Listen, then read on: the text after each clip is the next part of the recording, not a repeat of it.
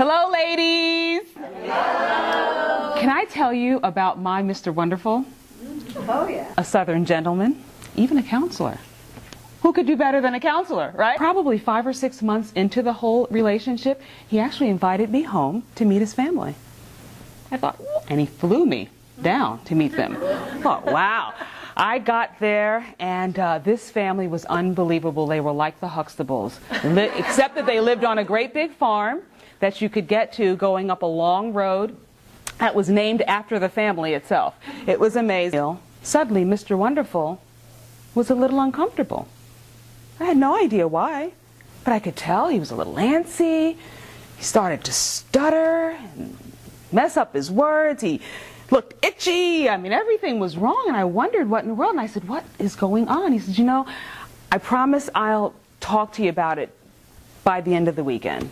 It was a little unusual know, to give that kind of an answer, but nonetheless, I listened and I thought, well, I'll be patient and I'll wait. Well, he never did.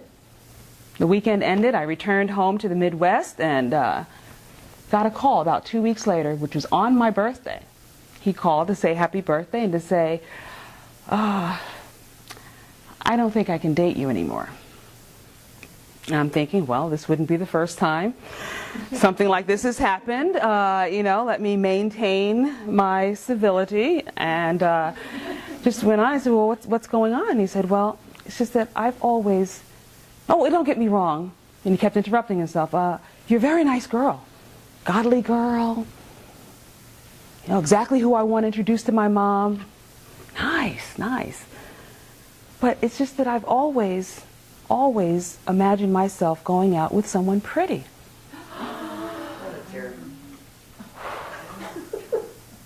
Ladies, I was devastated.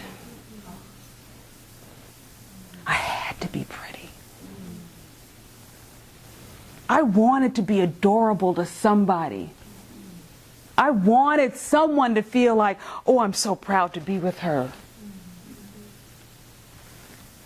But he said, I was ugly, and so guess what? I was ugly. And when I would look into the mirror, I saw ugly. Grotesque. Disgusting. And I couldn't get away from the ugly. I started to dim all the lights in my apartment. I took away every mirror that didn't have to be on the wall because it was nailed to the wall. And I lived like that in darkness three years. Three years.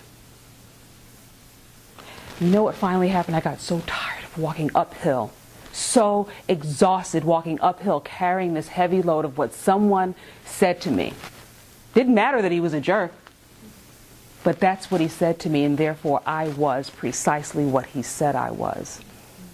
And when I got so tired one day, the Lord gave me Psalm 139:14. I am fearfully and wonderfully made. Mm. Yes. And I had to claim that as the very word of God that would define me and not the words of a stupid jerk. I would believe what God said and not what man said. And when people walked by my apartment door, I'm sure they wondered sometimes what in the world I was doing inside. I'm fearfully and wonderfully made. Fearfully and wonderfully made. Fearfully and wonderfully made. Fearfully and wonderfully made. Say it with me. Fearfully and wonderfully made. Thank you. I'm Sherry Boykin.